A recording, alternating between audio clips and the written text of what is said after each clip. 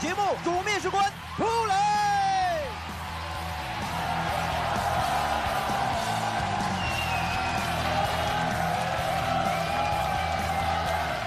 谢谢大家，谢谢，请坐，请坐啊！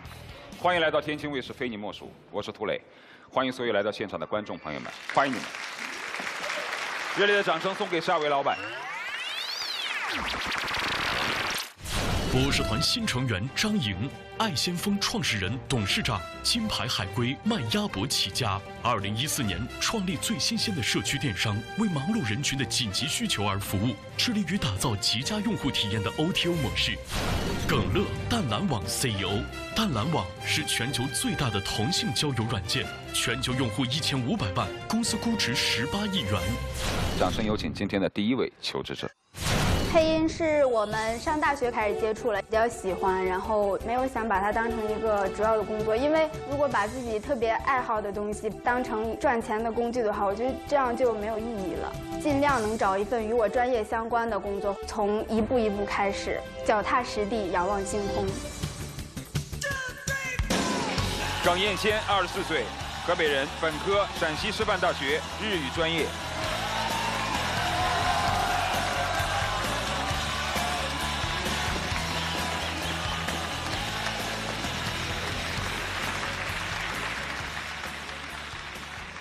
大家好，我叫耿艳仙，来自河北沧州，今年六月份即将毕业于陕西师范大学日语专业。我今天来到非你莫属的平台，想要寻求一份与日语相关或者管理培训生以及助理类的岗位，还有各位 boss 认为我合适的岗位。谢谢大家。你好。你好。思敏好像是第一次有女生穿过膝的靴子啊，好酷啊！我觉得很有意思，上半身是职场，下半身好像是夜店。对，就上半身很庄重，下半身很狂野，是吗？呃，如果您在求职的时候，如果上半身穿的比较职业化的话，我建议您的裙子一定要穿职场用的这种裙子，就是我们常常讲的说一步裙。那它的长短在膝盖附近就可以了，这样是最好的。那如果假如说今天您下半身可以穿这样，您面试的行业可能比较时尚，也是可以，那就把上半身稍微打扮一下，比如说外套协调一点，对外套可以选择亮色一点，甚至说这个衬衫不用系的那么严，这样感觉可能会更好，好吗？谢谢老师。好，我们来听一下推荐理由。对，其实为什么燕仙这么打扮？我猜是这样，因为燕仙呢，她是一个特别喜欢日本漫画，所以她因为喜欢漫画也去学日语，所以呢，她的下半身是二次元的，上半身是三次元的。所以是几次元的？你那衣服是几次元？我是二点五次元。你是 N 次元。对，所以这个另外燕仙她平常她在这个同学当中呢，他有几个技能啊。第一，他是特别喜欢帮女同学做头发。心灵手巧，啊，第二呢，他擅长帮同学解决情感问题，最擅长就帮助同学分手，啊，所以他来应聘呢，也是想应聘助理或者是 HR 专员这一类的职位，啊，我觉得还是可以的，啊，我来推荐你。行，我们来聊一下。先说这个帮别人做头发。对，就是比如说现在网上有很多那种女生编发，基本上那里面出现的发型我都会做。就是在我的朋友、同学，他们如果出去约会或者是去参加 party 之类的，他们都会来找我帮他们做一个漂亮的发型，然后再出门。哦叶仙，其实我们特别想请教你，比方说我的头发这么多年都基本没什么变化，我们能改变一下发型吗？要不这样，你上来让他给你做一个发型。给你编一个，会浪费很多时间吧？不需要，要要多长时间？很快吧，也就几分钟吧。对，几分钟。几分钟，来，掌声有请，尹峰。这。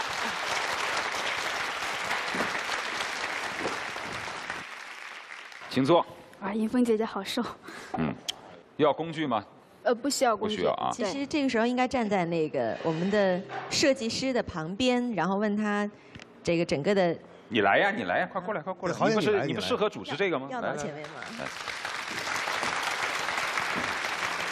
哎，感觉好像到了美丽俏佳人啊！我是大美人之类的。对对。好，大家好，欢迎收看今天的《非你莫属之我是大美人》。那在今天的节目当中呢，其实想要给大家来展示一下过年的时候我们要做什么样的造型。今天我们邀请的嘉宾也是来头不小，他是来自咖啡之翼的董事长尹峰，我们的神仙姐姐，大家掌声欢迎。神仙姐姐，那过年的时候您肯定也要出去，呃，走亲访友啊。那你自己印象当中，你应该想要以什么样的造型来见大家？嗯，本来过年呢是一年比一年老，当然我想越来越年轻。嗯，然后让我们同学见到我永远都是那个样子。可以帮我拿一下吗？所以一定不要把我。哎，我来，我来。一般我是大美人，都好几个主持人。好，而且你知道吗？李峰这个头发，哎呀，我摸起来，你知道吗？是吗？有多么的光滑，是吧？哎呀，那个手感，我就宁可变变成他头发里面的一一粒狮子。哇！就一辈子一粒狮子，一只虱就躺在里面，一辈子你都觉得特别幸福。一辈子不出来是吗？对。基本就是这样。如果如果有一个特别我们展示一下后面，来来，可以掐在上面。尹峰站起来展示一下后面啊。哇，还是不错啊。可以吗？很棒很棒。可以吗？好看，我就这样了，特别好看。怎么样？你自己满意不满意？哦，好漂亮啊！那个豹纹的衣服特别配。所以你想招一个这样的助理吗？当然，特别想。对，每天给你做头发是吧？真好。但是我可舍不得让他每天做头发，我可以让他发挥更大的价值。因为他太太会审美了。那说说刚刚才说的，你其他的多才多艺，喜欢日本漫画，对啊。那日日语怎么样嘛？呃，我的日语在我们学校属于中上等，我也曾经拿过奖学金。然后在昨天正好是我们的日语能力国际一级，他出成绩，我已经合格。这个能力一级是所有除了日本人以外的外国人能够考的日语的最高水平。好，给他点个赞啊。我比较希望，就是虽然我学了语言，我希望把它成门成为一一门工具，需要用到这个语言，但是去看干一些其他的工作。仅止于工具而已。对。来，第一轮选择去火流。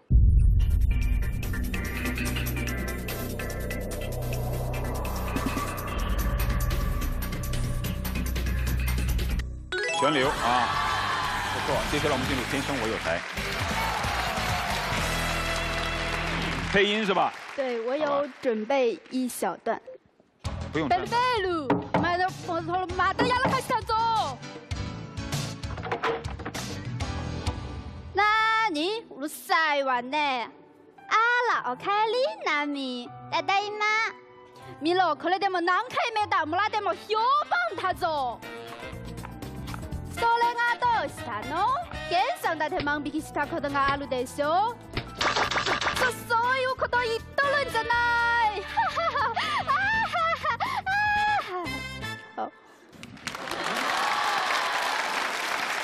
你要你要你要是深更半夜这样说话，会吓死好多人。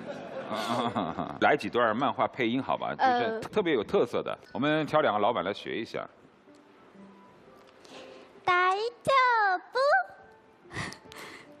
よかったね。 嗯，就这是什么意思？有点像。解释一下什么意思？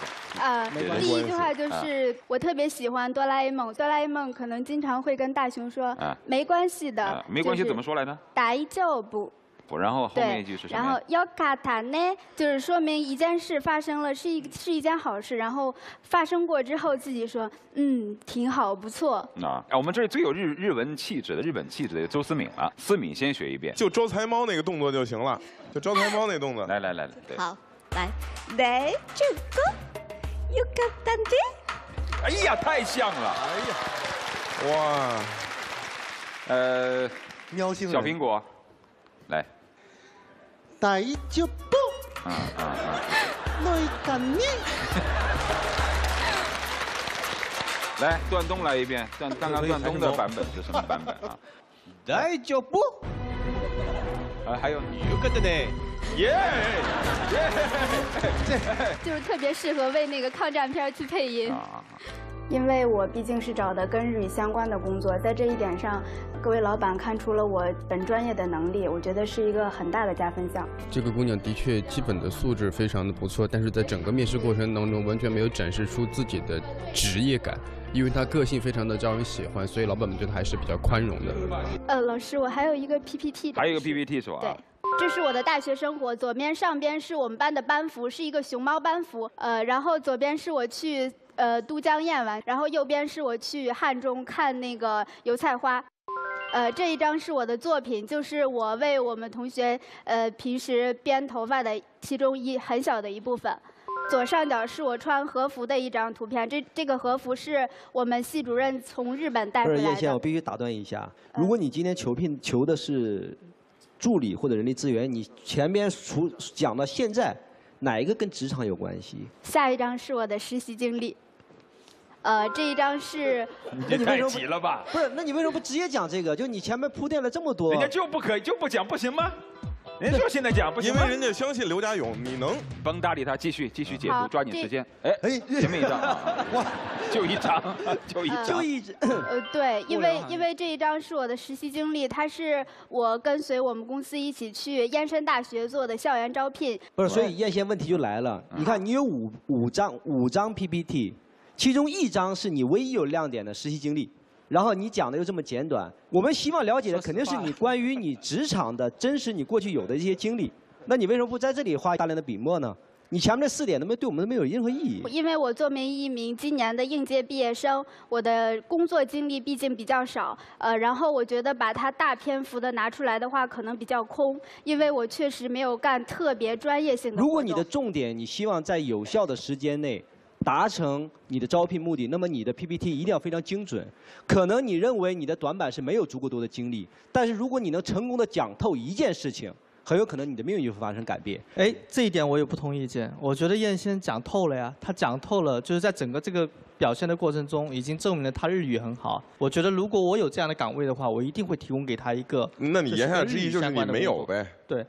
对，那你废话什么呢？那你废话什么呢？因为大家先看好的是他的助理岗和他招聘的能力。我这个我对吧跟同意嘉勇啊。其实其实作为一个应届生，他唯一的那个经历就是在顺丰做那个招聘专员。对于应届毕业生，你看国外很多大企业招聘，重点是看什么呢？应届毕业生看你的一些课外的一些经历，哪怕你在学校里折腾过什么事儿。啊，我赞成嘉勇。我觉得这个姑娘其实用过多的精力在展示了自己的素质，而没有更多的那一个应届毕业生不展示素质，还展示除了素质之外，如果说能够从他过往的实习履没有啊。历当中去拆那不就出一些这么一个能力的话实习工作吗不是更好？但是如果他能把那个实习工作讲的特别不是，我觉得我觉得叫这个真人有什么意思呀？对你哎我觉得时间多久啊我我觉得陈浩刚才说的那句话，我挺同意的。一个刚毕业的毕业生，主要是展现自己的素质，还能有什么样的过往经历呢？错错错叶错我因为他的对不对？他的哎，叶轩，你还可以展示未来十年在我们那儿工作的经历啊！不不不，因为我觉得有一点必须讲清楚。如果这是第一环节，我们都不会这么苛刻，因为大家第一环节大家对你的期望值都已经起来了。我们十二盏灯全留，已经证明了你的基本素质。没有起来那么第二个环节，如果第一环节没起来，你为什么不逼他走？他就是刚毕业的你助理岗位听我讲完。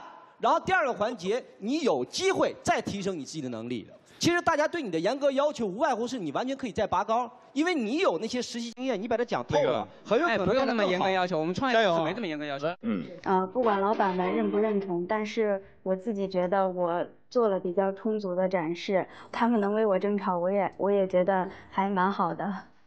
对 PPT 展示这事儿呢，有一个比较容易的比喻，可以给电视机前的同学们一起讲啊，就是你的 PPT 跟你的简历的逻辑应该是一样的，讲自己，讲自己最擅长的，讲自己的主要经历。那你的游记、你的散文、你的所有的这个活动照片和记忆放在最后，作为爱好特长来展示。你需要在最快的时间把你的最好的亮点拿出来。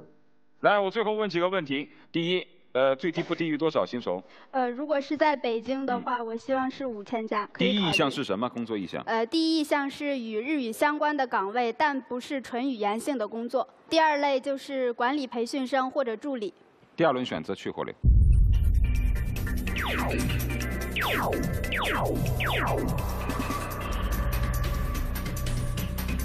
成绩还不错，还有八盏灯。来听一下他们推荐的职位，从梅向荣开始。我们给你提供的职位是盈科留学和这个旅游板块的日本商务助理。王文刚，呃，优曼集团给你提供的岗位呢，其实是是管理培训生，工作地点在北京。思敏，呃，思敏给你留的工作呢，就是我们旗下的一个金百合商学院关于跟中日友好的一个文化交流的这样一个项目的助理。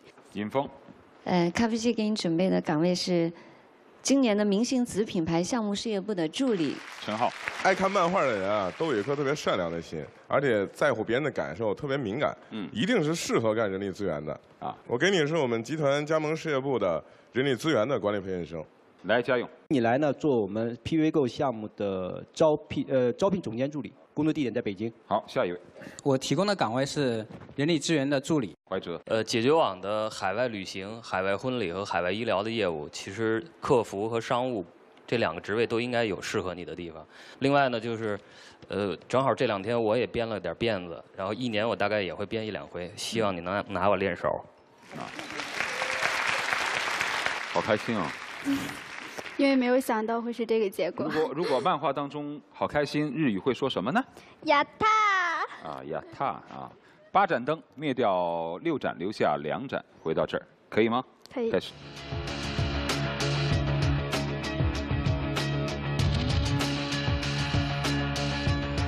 不好意思。哎，尹总，不好意思，非常喜欢你。没关系。任何时候欢迎你来找我。好，谢谢。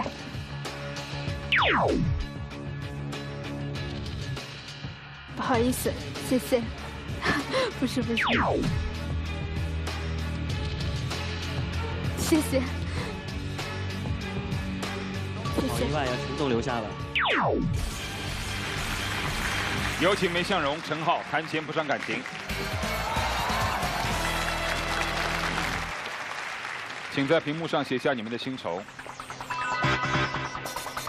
来来来，五千加五千加一模一样，在这个环节，关于待遇、薪酬，你都可以跟他们商量。呃，有，就是两位老板的加号是表示的是什么意思？第一，我们觉得我们人力资源模块的研究还是比较深入的，我们人也多，你有充分的专业的锻炼机会。他们我不就不知道了啊。不知道就别说，我我都没说，我说不知道。不是你这加号那也太虚了呀！你这加号等于跟钱没关系啊。我我我们看他未来落在什么项目上，我们连招聘都有提成的。因为你这是讲薪酬。实际上我跟陈浩两人实际上都差不多多。差不多。实际上我们给你提供的五千呢，只是一个基础岗位，也就是将来你真正到哪个岗位去，那么它有相应的绩效的考核。来，还有问题吗？没有了。确定没有了？嗯。来，十五秒钟时间，请考虑。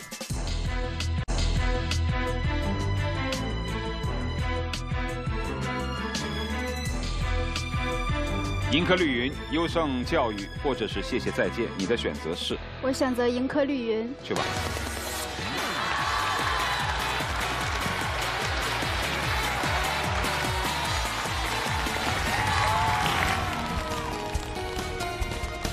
因为首先这是一家全球性的公司，然后我觉得，呃，他给我的岗位也是能够与我专业相关，也是我比较喜欢的，所以我选择了这家企业。我为什么这么早出来工作，包括不去读大学？因为我觉得出来干五年，比很多大学生在大学里面混三年来的更有实际意义一点。多接触几个行业，多接触几个门道，会对我自己有好处。我想做的就是一个全能型的一个人才。李培文，二十七岁，浙江人，中专，宁波新港职高国际贸易专业。大家好，在座的各位 boss 好，我叫李培文，来自浙江宁波，今年二十七岁，呃，来到非你莫属的平台是想着要寻得一位，呃，一份跟运营相关的工作，最好是营运入呃营运助理入手。那么从十六岁到二十七岁到现在为止，就一直工作到十一年。那么今天来到这个平台，也希望各位老板推荐给我一份觉得我适合的一份工作，谢谢。涂老师好，这是我的简历。穆言老师来，你的推荐理由。对，那个李培文，中专没毕业就工作了，然后呢，正经的不正经的工作也干过十五、十几个了，啊，在大排档干过，然后在眼镜店也做过，在酒店也做过，啊，然后也做过直销，自己挣了一些钱，本来呢还想加盟咖啡之翼，然后钱不够。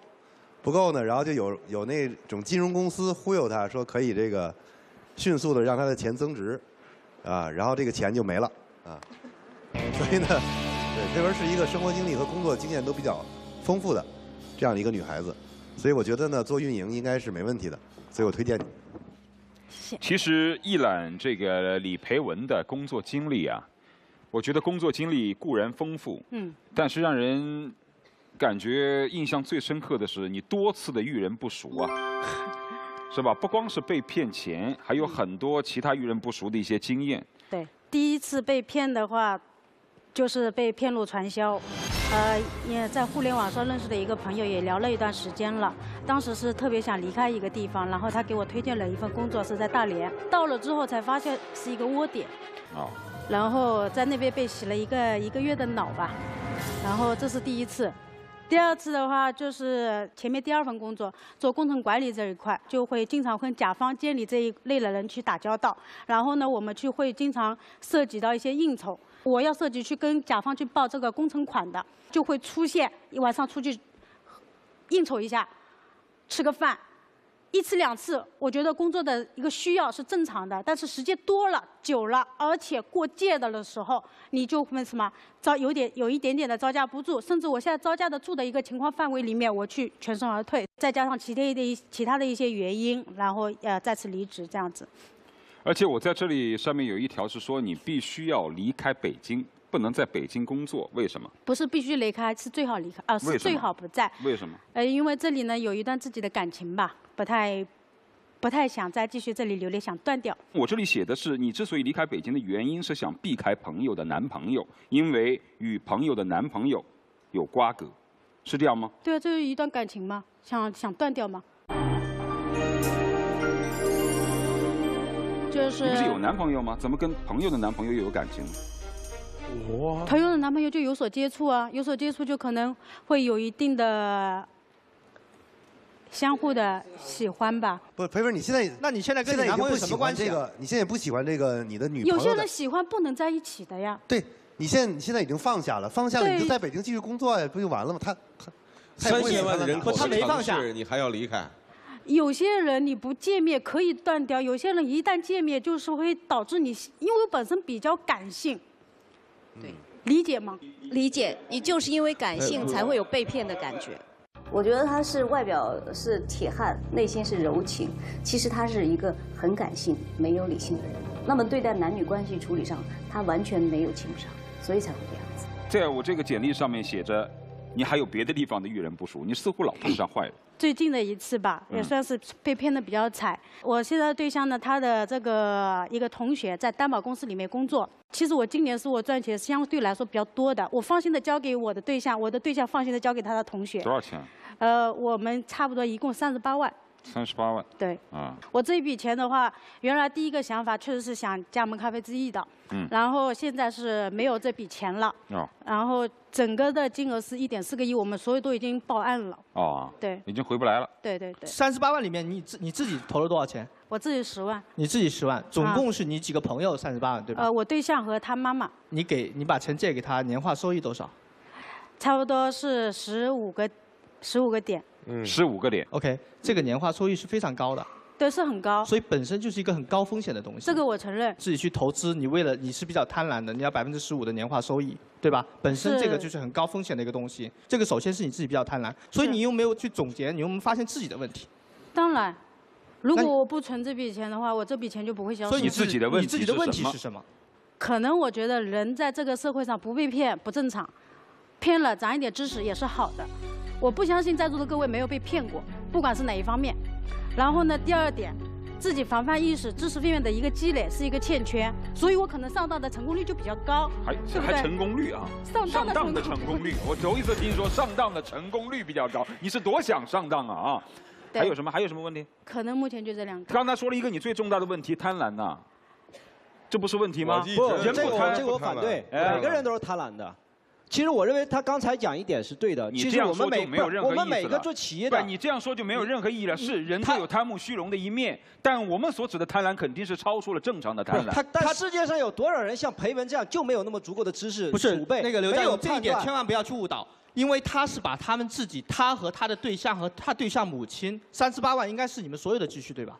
对。他把自己所有的积蓄都被骗走了，这个是一个很严重的问题。不是，其实第一他是弱势群体，第二从我们企业家，我们也要反省，我们做的每一个平台，并不是说每个平台都是正确的，他提的要求也是有是合理的。我们既然搭了一个平台，就要尽可能的去保证这些平台的安全性，让百姓们相信。我认为这也没有错啊。所以邓总，你要说说几句还有一点我想说的一点是，不是所有的担保公司我都投。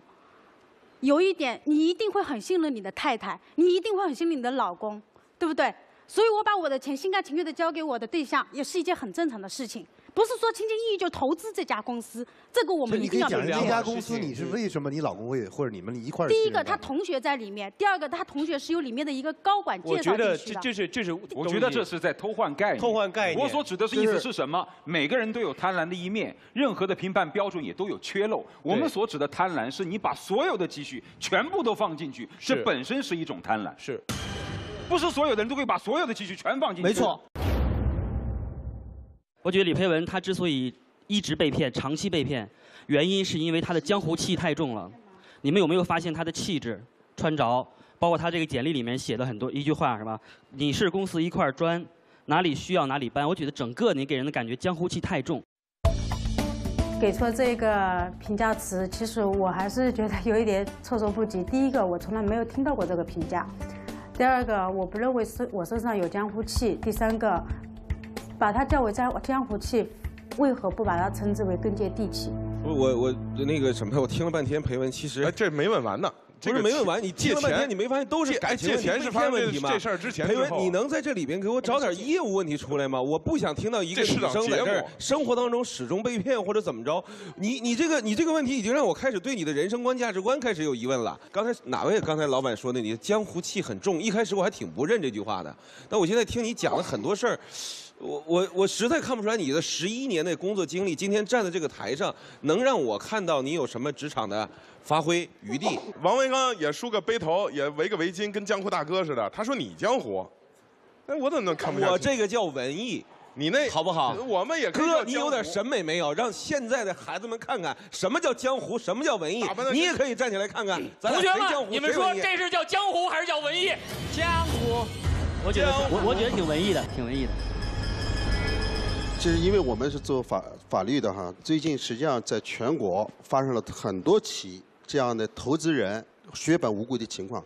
天下没有免费的午餐，实际上担保公司它只能从事担保这个经营，不能吸储，也不能对外投资。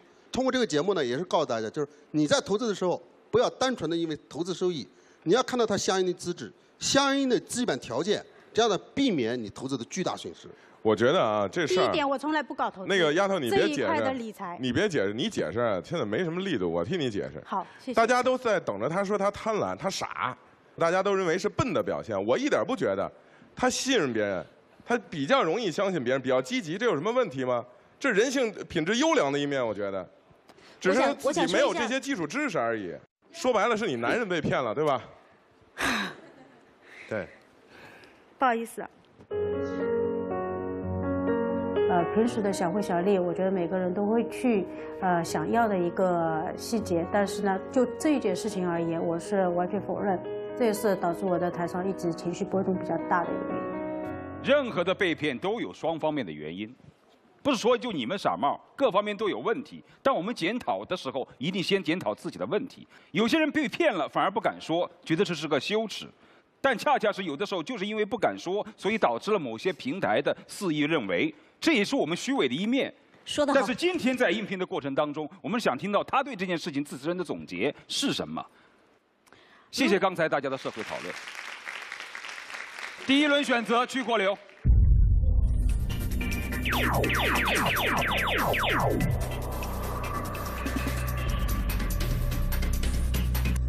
还有五盏灯。好，接下来我们进入天生我有才。有什么 PPT 是吧？嗯，对。来展示一下 PPT。这一张呢是我是谁，已经拥有十年的工作经验，有过上台演讲的一些经验。说实在，今天出乎我意料的一点就是我流眼泪了。下一页，谢谢。这一页所有展示的能力都是我上一份工作的一个啊、呃积累。虽然情现在情绪比较激动，在淡定的一个情况之下，我还是开过百人甚至呃差不多到千人的一个招商呃活动，我有讲解过的。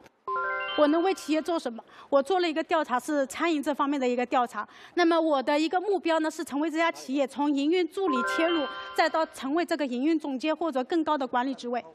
然后下一页就是谢谢，祝愿各位老板新年快乐。你今天有意向企业吗？有哪几家？第一是咖啡之一跟海素，第二就是五八同城。其实我的目标只有一个，啊我想在韩数里面赚来钱做五八，哦，做做这个这个咖啡之一或者说在呃通过互联网的一个方式，把我自己想要的咖啡厅推广出去。就最终还是想做咖啡厅，但是想到韩数那儿去赚钱。是。哎，你说一下这个思路啊？为呃为什么你觉得在韩数能赚到钱？第一个，我想跟女老板，啊，我觉得同样是老板，同样的成就，女人成功更不容易一点。而且你为什么她能觉得在韩素够教我一定能赚到钱呢？因为最可气的是，你说赚完钱再去咖咖啡之夜。对韩叔其实在营销管理这一块还是比较完善的，我缺的是管理，而不是缺的是呃销售额。所以，所以你学到的是能力，并不一定意味着你一定能赚到钱呀。但是我只要销售额上去，我的财财富是自然而然来的。你们帮我做好巩固，我只要把能够把人聚集起来，然后跟你们身上学到经验，难道不是更好吗？我需要借力啊！那你最后是为了赚钱呢，还是为了？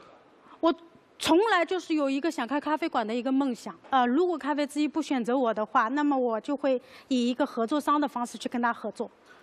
反正就是要跟他合作。挺好的。其实郝颖在韩数也是想再来五年赚够钱开咖咖啡馆去。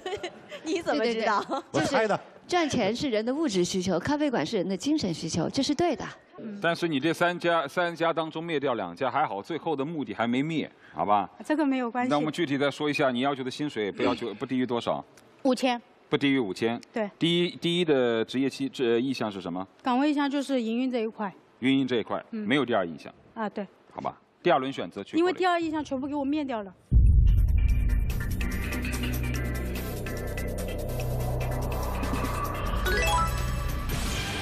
没变啊。来听一下他们推荐的职位。我觉得你离互联网稍微有点远，但如果你要选择一家网络公司的话，我们可以给你一个网络运营的职位，好吗？在北京，在北京。加油！我愿意给你呃我们 PV Go 项目的市场部的活动执行，而且你充分的发挥你过去带团队而且迅速赚钱的梦想。地点？谢谢。地点在北京。陈浩。裴文，我我给你的是我们这个我们集团加盟事业部的商务拓展方面的这个专员企业，但是过了试用期，可能我就会升你做主管，啊，既可以在北京，也可以选择你想去的城市。尹峰。嗯，裴文，咖啡机给你准备的岗位就是你想要的营运助理。虽然在刚刚整个提问过程中对你的专业拷问不是特别多，但是我觉得你还是有一些东西非常打动我。比方说，可能你学历不高，但是你的表达比很多学历高的人更好。你是经历了很多坎坷和困难，但是并没有低头，你现在还是一腔热血。我觉得这个我很喜欢。我相信未来我们在一起工作，职场上更多的伙伴，你也会跟他们一样，学会更多的理性判断，然后保护自己，才能保护团队。咖啡机欢迎你。谢谢。我特别佩服尹峰。其实，在座有些老板灭灯了，可能各种原因都有。我相信，可能有一些老板就是因为配文学历低，然后呢，在江湖行走过，经历比较丰富等等。有些老板就觉得啊，这样的员工我不用。我认为，也许他不适合你的企业文化，但我觉得你也要考虑一下，是不是一种歧视？好吧？其实我觉得懂我的应该都是比较感性的一个老板，呃，包括呃像尹峰老总，还有那个呃呃慕言，因为他两个其实对于在我以往的一个观察过程当中也是比较感性的。他说到我心里了，谁说到你心里了？我以为慕言说到你心里了。这他也有慕言也说到你心里了。你曾经受到过很多歧视是吗？没有？没有我。从来不觉得歧视，我没有读大学，就是没有读大学，嗯，那你我也很羡慕。那你为什么要一直泪眼连连呢？没有啊，确实十一年过来，嗯到现在没有很多总结，嗯，没有很多结语。我不是想要一夜暴富的人，我是真的很想要通过自己的努力得到成功的一个人。那接下来好好考虑一下，五盏灯当中灭掉三盏，留下两盏，回到这儿去吧。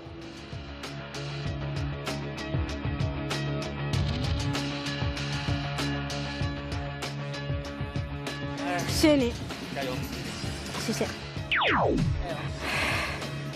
谢谢你。好。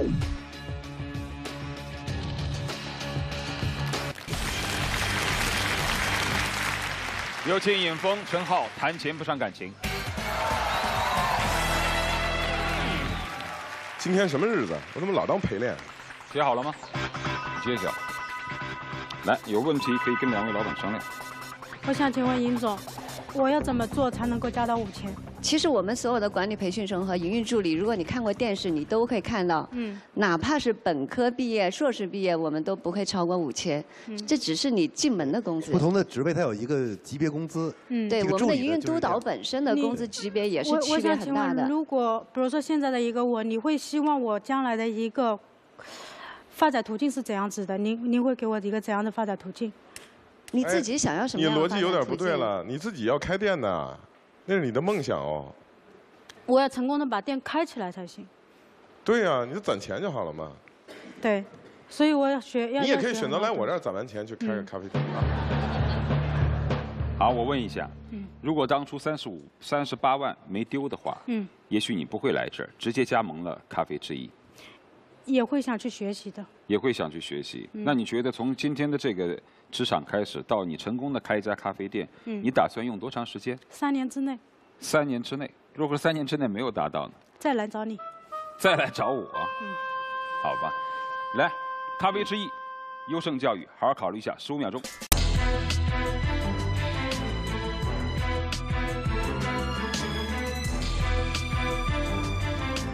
咖啡之翼，优胜教育，或者是谢谢再见，请问你的选择是？是。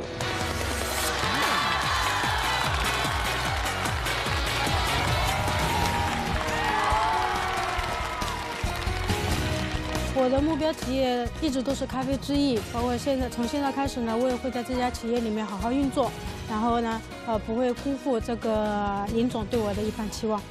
呃，从大学本科毕业开始，我就一直在折腾，从中国折腾到日本，又从日本折腾到美国。我想做的事情是在我行万里路的同时能读万卷书，所以这些年我一直在路上。我希望能通过今天的面试，把我这些年漂泊的这么一个心，把我稳定下来，因为我是真的想回家了。谢宇丹，三十一岁，天津人，博士在读，德雷塞尔大学电子工程专业。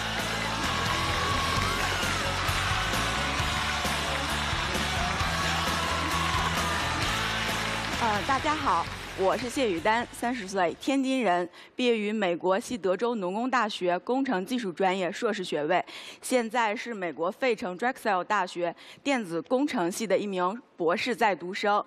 我从中国走到了日本，又从日本走到了美国。今天我走到非你莫属这个舞台，想通过今天的面试，寻求一份跟呃能源、电子、通信、互联网相关的工作，或者是各位老板觉得我适合的工作。谢谢。傅老师你好，这是我的简历。对，你的推荐理由是？呃，雨丹是一个让我非常纠结的选手，因为他求学经历非常的坎坷，然后呢读到了博士，拿到了很好的奖学金，但是他居然现在想要放弃了，因为爱情。所以，到底非你莫属的舞台是应该成全他的个人幸福，还是成全他的个人的职业规划？我觉得可能今天各位过来人给给建议吧。哎，这个推荐理由啊，有意思啊。那我们就说说这个，先说说这个事儿。你是从哪儿到哪儿，再到哪儿呢？你刚才说，再说一遍。呃，我是从中国到日本，到日本又从日本到美国。到美国从中国到日本是因为我工作签证去了日本，啊当时在日本的一家呃室内设计公司做 3D 设计师。啊后来因为这个从工作签证转到学生签证出了问题，啊！然后我当时心里就想，那既然你日本不给我这个签证，那我就不去了，我要去一个比日本更发达的国家，所以我选择了美国。斗气儿是吧？一部分，但是还有一部分毕竟是我自己想读书。啊，你去日本是为了求学，从日本到美国是斗气儿，从美国回来是为了爱情。听说你一年要飞四次，光机票费也不得了，对，所以我和我老公而且还是裸婚。对，我和我老公认识大概三年的时间，嗯呃，我们其实是一个偶然的机会在人人网上认识的，啊然后从此之后就开始了漫长的痛并快乐着的异国之恋。啊他在北京，他是一名呃脑细科的外科医生。哦，很适合你。真的很适合你。不是你们异地恋恋了几年，然后结婚的？呃，两年大概，两年中间没怎么见过面。呃，只要有假期我都会飞回来没，有，他们不单是异地恋，还是异地网恋。还是跨国。对，还跨没见过面没怎么见这很正常了。那那就加起来就见面见俩月就领证了，是这意思？陈哥，我跟你说个事儿啊，我跟他是同学，啊，我们同一所大学出来的。哪个大学？你是 Derek？我是 Texas。你们俩认识吗？我不认识，我比他早哦去十年。哦，但是在美国的话，异地能够撑一年半以上的，我们叫王牌，一般没有人破这个记录，啊，这个比较罕见。但涂老师有一个信息要必须要明确一下，他现在其实还是博士研究生在读，嗯，然后呢，你你必须要跟各位老板明确说，你到底是要来找工作，还是要放弃学业，这个态度我觉得很重要。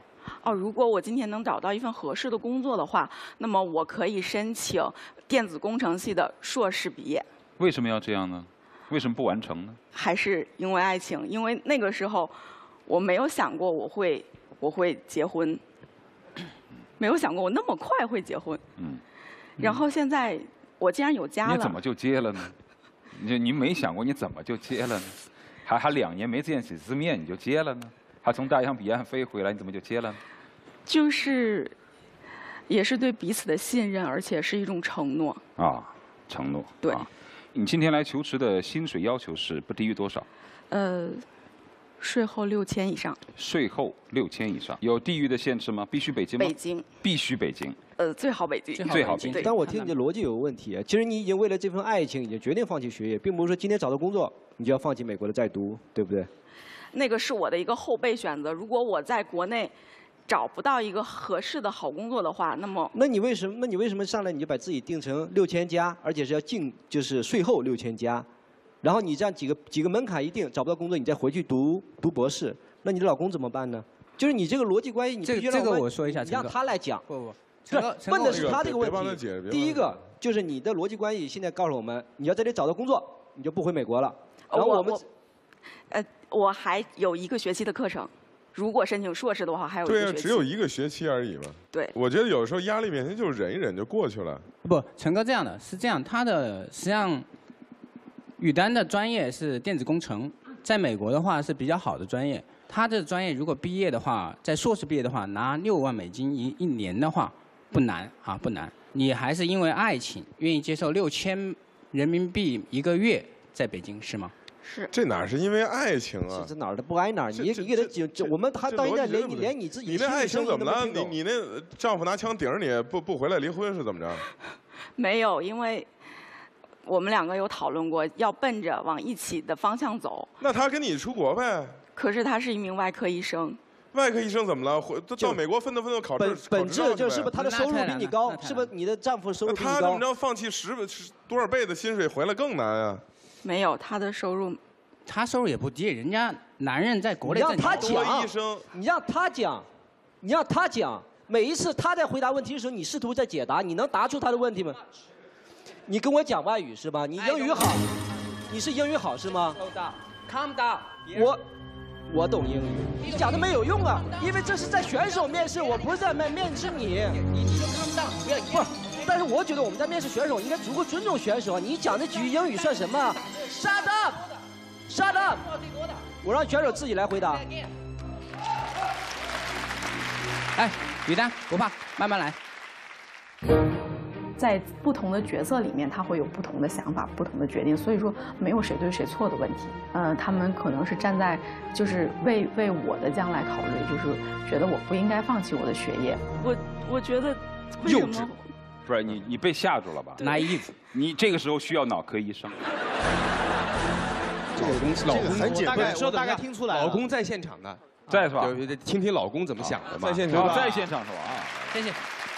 现在这样放在我们面前有两条路，一条是那个他硕士结业，然后放弃博士，然后回来工作；然后一条是那个我这边辞职，然后过去，然后那个陪读。但是那个不管哪样都都有是我们肯定是要回国的，因为我俩都是独生子，不可能把父母放在国内就这么不管。大夫就一定好，或者大夫，说是大夫，哎，你好，你好我觉得。你也挺语无伦次的。你凭什么说就两条路？嗯，你我觉得你你学历也不低了，你们真就两条路吗？就没第三条吗？嗯，他继续读他的书，你继续当你的大夫，增加点假期不就完了吗？增加点机票钱不就完了吗？回头在美国明年对吧，当读着博生个宝宝，对吧？你多跑那两趟，请请假，不行吗？是问题，这个不是暂时啊，他那个这个的话，我觉得小伙子还是你的问题，你说假话了。你如果真支持他，你这时候应该积极想。我先问你，你一年有多少假期？支持个啥呀？我跟你说这个事情。你先让我问完。这时候是个爷们儿该说话的时候，你有多少假期？即便是我一般是一个月，就是说这种单天能拿出来的有两天，然后全年下来就是如果不换班的话，两日连续两日以上的假期没有。请假会不会开除你？不会，可是。对吧？就是你有多少假期？寒暑假总有吧？到读博后期之后没有寒暑假。加起来有多少假期吧？可能感恩节有几天，圣诞节有几天，也就这样。哇，这是父母包办婚姻吗？你？陈浩，您您您是要干嘛？你还想说什么？现在别别别别别，让他说完，让他过个瘾。你还想说什么？我本来认为啊，他请请假，凑点日子；他请请假，凑点日子，一年在一起有个两三个月也可以了。没有。我们每个人，我们每个人在特别大的火气说，哎，别听听我说的时候，人家愿意这么选择，这不在帮忙吗？小事儿。我觉得陈浩今天太好玩了，他好像那个封建家长，你知道吗？当时我听到他大声说话的时候，那时候我真的很想去拿个创口贴把它贴起来，把嘴巴，不要吵了。但是从另外一个女人的角度，我支持于丹这么做。我觉得一个女人最重点的是应该把自己照顾好，再来照顾事业以及其他的。所以我觉得她的选择没有错误啊。好吧，来第一轮选择去或留。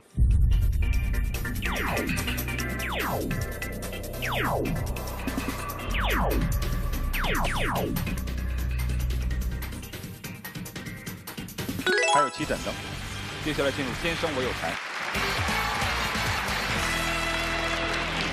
有 PPT 是吗？对，大学期间我是我们系唯一的一名女班长，而且一干就干了四年。呃，这个呢是我在德州读研的时候参与的这个工程。呃，这个是德州一个学术学术会议的一个照片，我做了一个演讲报告。这个就是我之前获得的那个优秀学生工作者的这个称号，是近十年来唯一获得这个称号的一个国际留学生。你这上面写的都是一些岗位，呃，一些这个行业，新能源和电子通信相关。对。你的求职意向岗位是什么？第一意向。岗位对，可以做偏技术。偏技术类。对，然后因为我不太想浪费我这么多年学的东西。你你所理解的偏技术，你能做什么呢？基础的研发，研发。技术研发研发指哪我没有做过。不是研发也太广泛了，研发哪方面的研发？嗯，就是。为什么说不出来呢？你看，其实老板们刚才为你争吵的这个问题真的存在。如果你在你的专业当中继续读下去的话，你完全可以在美国找到一份不错的工作。但是你今天回国，可能你的这个专业想要找到一个对口的工作，至少在今天这个机会当中，是很难的。呃，谢宇端呢是一个宁可为家庭牺牲事业的一个人，呃，回归家庭这件事情想好了，呃，那么找什么样的工作，展现自己的价值，这个他根本没有想好。我特别支持他回去好好的把学业完成，因为那过去那么多年的经历，你看他两个国家的留学经历，用了这么长时间，一夜之间放弃掉，这个赌注太大了。来问一下你丈夫，那你在看到他这些辉煌的历史的时候。再想到他到目前这个舞台上来，回国，为了一份爱情，甚至说不清楚自己要做什么岗位的时候，你作何感想？从那个为我的爱人的事业来讲，我其实挺希望各位老板能把他说服回美国的。说服什么？把他说服回去继续读博，因为读到这个分都灭灯是吧？嗯，是这意思吗？说服，但是对他的能力要有肯定。你全灭了灯，然后他会觉得很难过。不是，你们要肯定，但要灭灯。不，但但我真的认为这是一个负负责任的男人啊，真的是一个负责任的男人，而且他是想跟你过一辈子。只有是肯愿意为你过一辈子的人，才告诉你你下一步应该完成什么，然后对我们将来是更好。我真的为这个男人点个赞。好，呃，他该理解的也理解了，这小伙子也说实话了啊。你觉得我们可以开始灭灯了吗？来吧，还要问吗？还有话题要问吗？不问了，不问了。第二轮选择去婚。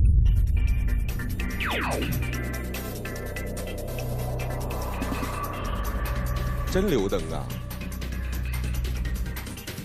她老公对我们的要求，嗯，好，她老公对你的要求是把灯灭了，我是要求我们支持她，但是又把她劝回去。我一句话没说，这么坚定的响响应了。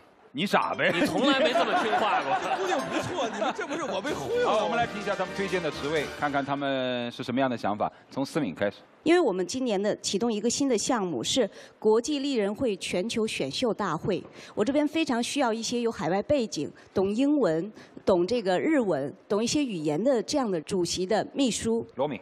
啊，区分期愿意给你一个管理培训生这样一个职位。我是比较支持你的，我是觉得人生除了事业，其实我觉得爱情是比事业更重要的。但爱情是不可以分期的。此处应有掌声啊！尹峰。嗯，KPG 为于丹留的职位是高级管理培训生。好，陈浩。那我们也投资这个线上的教育，叫秒提。那暂定就是秒提的这个 CEO 的助理。谢谢。张莹。技术部的助理，休斯顿。有我们自己的这个小的研发团队和国内团队一起工作。谢谢。怀哲，我们有海外旅行、海外医疗、海外婚礼的业务，呃，需要英文好的人，然后也需要有海外生活经历的人来做商务的工作。工作地点在北京。好。那都说爱情万岁啊，但爱情往往不能长命。这十几年的爱情也变成了匆匆那年了啊。所以说，每个人不光有爱情，还是要有自己的事业和自己喜欢的事物，啊，那是一种支撑。接下来在六盏灯当中，考虑一下灭掉四盏，留下两盏，回到这儿，可以吗？好，开始。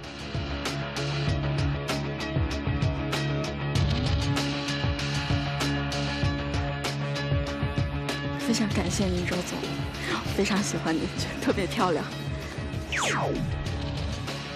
谢谢。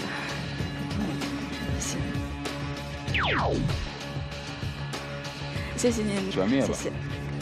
他不会自己全灭掉吧？谢谢。谢谢您。有请张莹、陈浩谈钱不伤感情。恭喜陈浩又做陪练。这次我肯定不是备胎。你你又做备备胎了啊？你老公一直楚楚可怜的看着你。来，在屏幕下写下你们的薪酬。试用期一万加，这边是八千。我能跟你这么分析一下啊，你的骨子里还是比较踏实稳定的一个人，是吧？这里头有一个企业的，那它经营的时间很长，基础业务呢积累也不错，给的薪水呢也还可以。如果说另外一个创业型的企业工资能够再给高一点的话，冒这个风险咱也值。但以目前这个情况来，它没有竞争力。这个可以重新加。那个爱情万岁，如果。如果真的留在北京的话，我们还有子女教育呢。你加，我也加，真是。我觉得，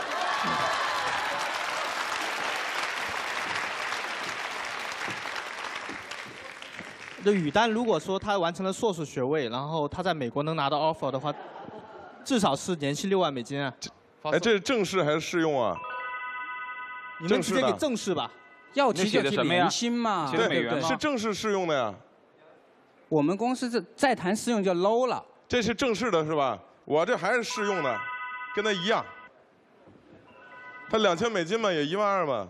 哥，我十四个月。我也十四个月。哎，这就加谁没有啊？我我们教育公司，我以前读过十三个月，我这新创的，我给十四个月，怎么了？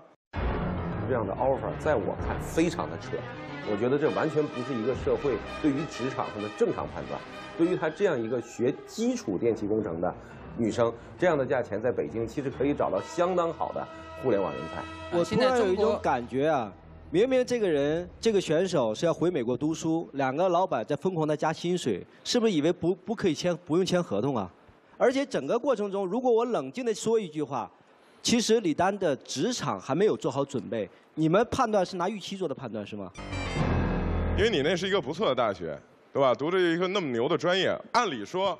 我讲良心话啊，以我们这种企业、这种背景的企业，在互联网人才里，在 TMT 领域里去抢人才，我你我们成功率有多少？段东知道，对吧？我不用薪酬去抢，我还用什么去抢？我理解你，我还下跪啊！但是我就问你，你招他做你的这个事业的技术做哪块？你他能做什么？就他的他的拿到这份薪资和他匹配的工作是多少？不是，我觉得这个这个刘家勇这个这个提的有点过分了。我觉得对那个陈浩和那个那个张总。对他们给的这个薪资，以他的大学历背景来说，其实并不高的。不，如果是在他首先，咱俩郑莹，而且如果他在咱把那他妈那人搁一边，咱俩先说。咱俩首先觉得是不是爱情万岁？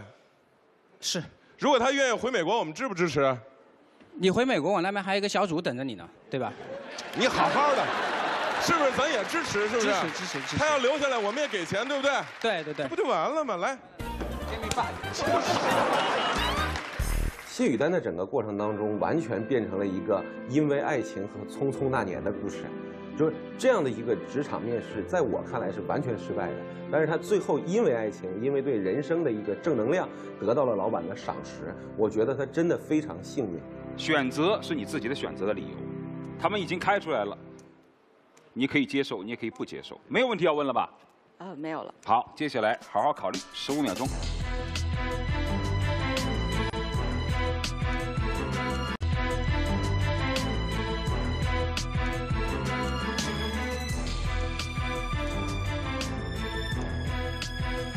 所以你的选择是优胜教育，或者是爱先锋，或者是谢谢再见。你的选择是？我选择优胜教育。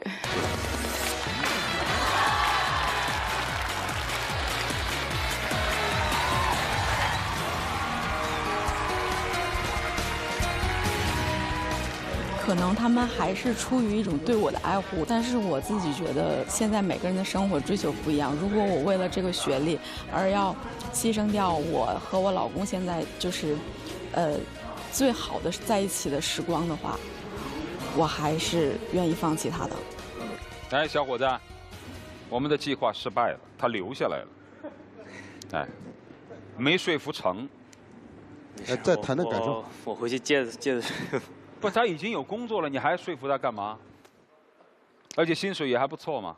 选择权在他，最后还是。你果然是一个脑神经一个的医生。对对对，小伙子，小伙子，那个小伙子，你就高兴吧。如果我是你的话，我今天晚上睡着都要笑。说实话，以他今天的表现，拿六七千块钱是正常的。今天是因为这是一个特殊的舞台，以他的表现拿到了一万二的工资，然后呢又回国了，跟你团聚了，就笑吧。我这我我我我作为一个刚才被骗灭灯的，我能说一句话吗？我实在认为你刚才那句话让我很气愤。你用了你的勇气，用了你笃定人生去追追随爱情，我哐叽把灯灭了。结果下来一会儿说你继续劝劝他，继会儿继续陪陪他。你如果是个爷们儿，你就来一句媳妇儿留在北京，我负责。对，好，还有。人家我觉得我被骗了，你。不不，如果你有空，你只是觉得自己如果你有空，用你的医学的专业知识帮他看看，啊，没问题啊。来，祝你们幸福啊！一定要坚持一下，好不好？好，掌声有请下一位。因为干主持吧，收入不稳定。最近呢，我也去过几家公司上班，但最后都没有继续留下去。作为一个来北京有梦想的人，不甘于在学校里普普通通待下去，我是不怎么喜欢闲着的。所以我还是想找一份工作，先在北京呃稳定下来。越努力越幸运。不管你在什么岗位，你获得多大的成就，努力是很重要的。黄光泽，二十五岁，湖北人，大四在读北京林业大学工业设计专业。现场的三位老板，呃，徐悦老师、涂乐老师，现场的观众朋友们，大家好，我叫黄光泽，来自湖北，今年二十四岁，我是一名即将毕业于北京林业大学工业设计专业的大四学生。在大学期间，我休学过一年，曾经做过房地产销售，做过保险代理人，也做过酒店服务员、酒店门童。那么在大四的时候呢，我开始做兼职婚礼主持人和商业活动主和商业活动主持人。今天来到非你莫属，想求得一份讲师、培训师，或者储备讲师，或者主持人等相关的工作。谢谢大家。来你的推荐理由是？光泽本来是一个不错的大学，然后呢，也有一个很有前景的专业——工业设计。在大二的突然有一天，他发现自己对说话产生了浓厚的兴趣，呃，于是就开始追寻这条道路，勇气可嘉。所以，非你莫属，愿意成全有梦想、有勇气的人。但是如果真不适合呢？今天对你来讲，也许是击碎你面对现实的很重要的一刻。呃，一起面对吧。好，谢谢徐徐老师。为什么那么喜欢说话呀？呃，首先呢，我在大学呀，呃，有几个比较特别好的爱好。啊。呃，喜欢看书。啊。喜欢在网上看一些呃管理学的讲座呀。平时在学校里也是喜欢跟朋友一起聊天呐、谈论一些生活中的趣事儿什么的。所以这个爱好但你要知道，虽然说都是说话，这个培训、讲师，又或者是主持人，他不一样。啊、对。的领域不一样。呃，对，但是也能圆我一个讲台的梦想，因为我想要么在讲台上，要么在舞台上。那这两样你干过哪样？呃，两个都干过。哪个干的比较爽？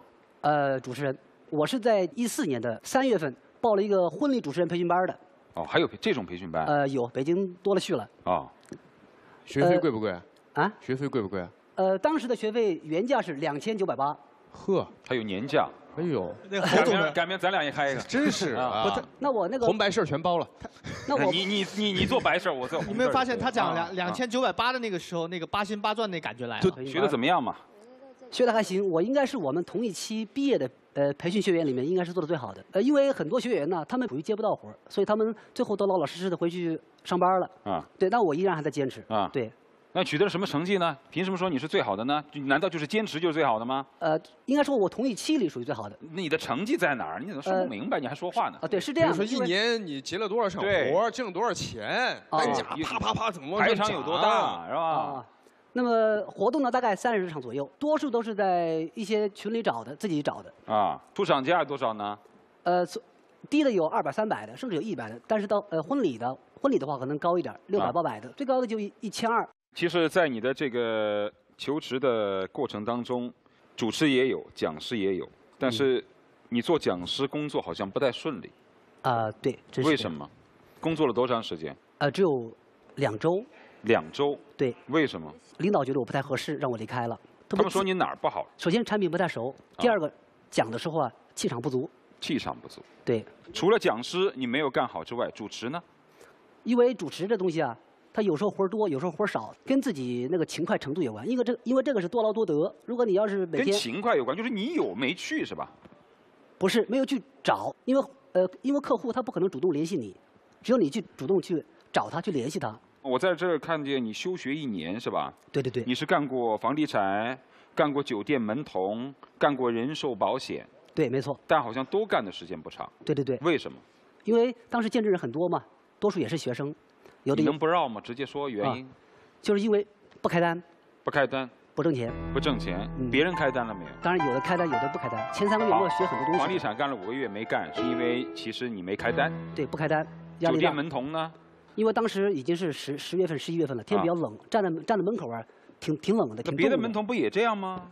又不是光你一个人冷。对，是，但是那个也没坚持下来，呃，挺累的。因为门童的工作干嘛呢？什么不累呢？我说我坐站这儿我都累死了。但那个比这个更累。啊，行好，那我不能再问下，再问下去你今年得全灭了。啊光泽，你有你有没有特别成功的一件事儿？就刚才所有的简历都是失败吗？有吗？有吗？问有有没有有没有最特别就你认为成功的一件事儿？特这位特别干的比较成功的就是婚礼主持人这个，就就那一千二是吧？也不是那一场，就是就那最高的嘛。就是职业类型里边的。这个光泽，我我有件事情我确实没有明白，就是你干的，你你说一般人去休学，你在休学，你像慕言是休学创业是吧？反正很多人休学创业，他是有真的是有一些事情可以能成功的事情他去干，你干一个兼职你去休学，你去休学，我我我挺不理解的。呃，首先这个兼职不是呃不是因为兼职去休学，是当时我已不，经你刚刚不是说你是因为要干一个干一个兼职，就是卖房子了吗？然后休学卖房子不是兼职，不是兼职，那是正式入职签了劳哦就是为了去做一个置业顾问，去卖一个二手房，然后你就休学了。对。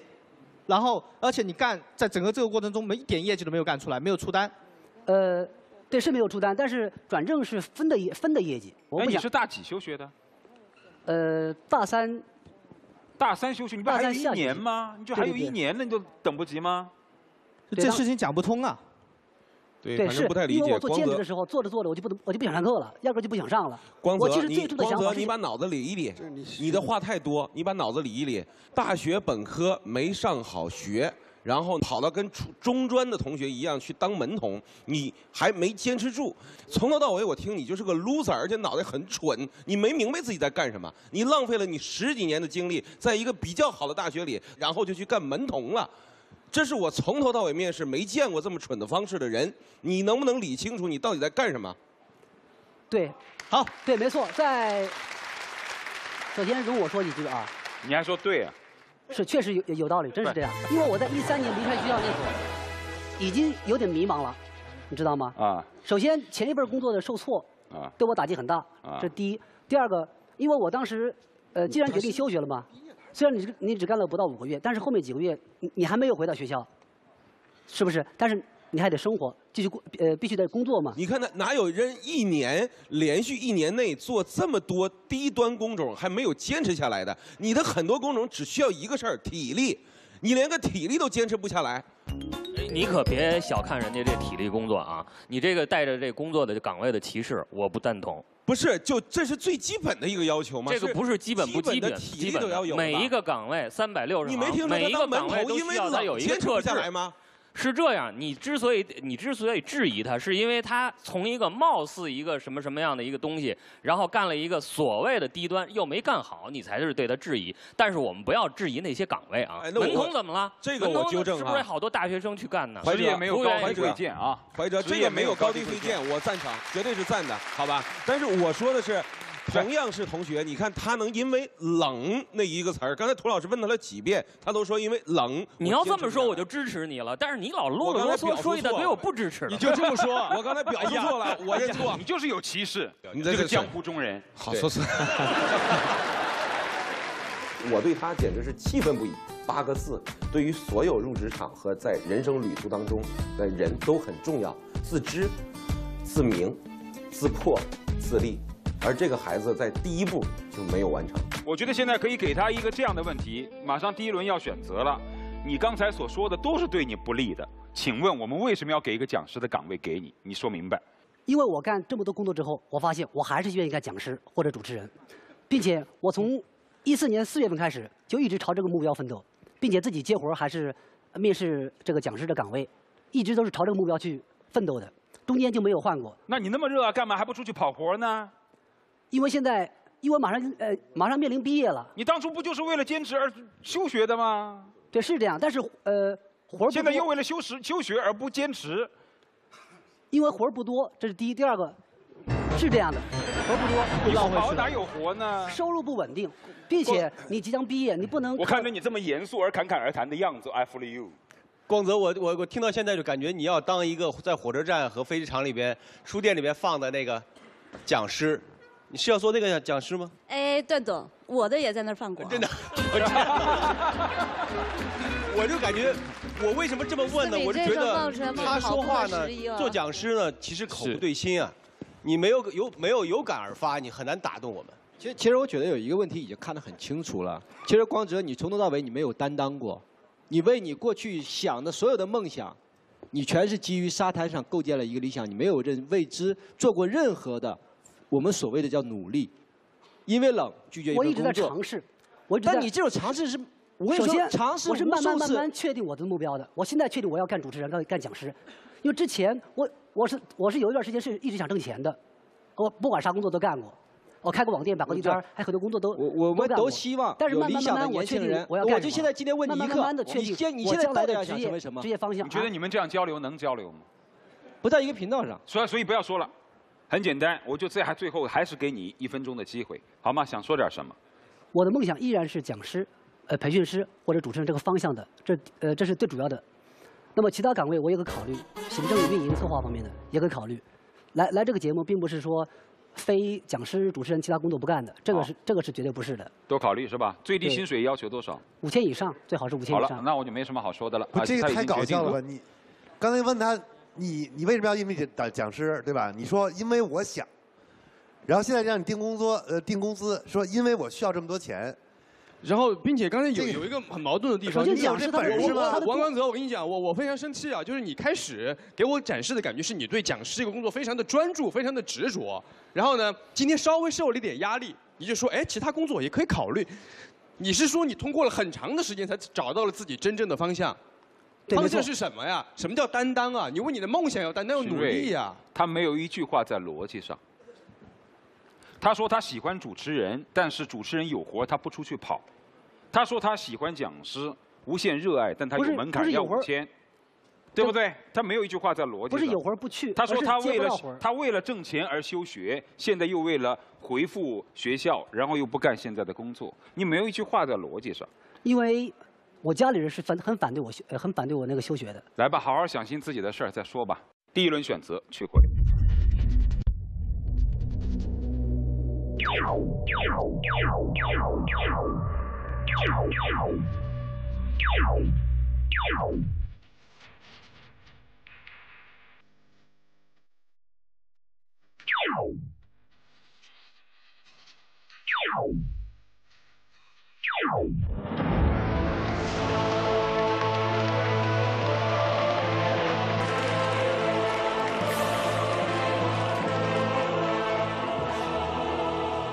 全部都灭了灯，梦想依然不改，对吗？我做讲师。他改了，他后来说其他的工作他也接受，这是我最生气的地方。如果说你一开始光泽，你唯一我即将毕业了，这是第一个。主持人他是一个半兼职的一个一个性质的。你毕业了未必决定你能够就业。对，这是没错。但是我今天来，那就准备好就业的准备再来吧，孩子。你要明白四件事：第一，你想干什么，这是梦想；第二，你应该干什么，这是明智；第三，你能干什么，这是自知之明；第四，你不能干什么，这是原则和底线。你现在只有第一个，我想干什么，却没有后面的三件事儿。所以你现在出现了问题，你把后面三件事想清楚了，再来就业，我我们还欢迎你，好吧？谢谢。有机会我我还会来的。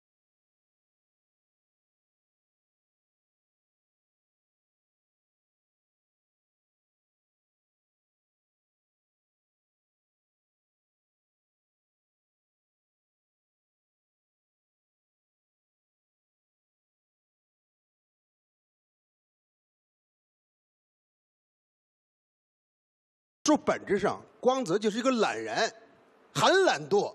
他希望干什么事情呢？我就动嘴皮子就想赚钱，就这么一个懒人。你们还说什么坚持，都太客气了。动嘴皮子不见得懒啊。对他本身就是你把这个事不解决掉，干什么都不行。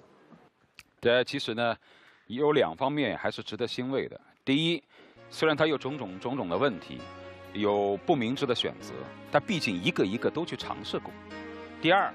他走上台阶，他还回头看了一眼。有些选手回头看都不看，听着你们的那些建议，抱着满腔的愤怒，内心骂着这帮傻货，然后就走了。他还知道回头，就说明这个孩子其实还不是特别的假啊。希望他能够听进去吧，好吧。来，感谢大家的陪伴，我们下期节目不见不散。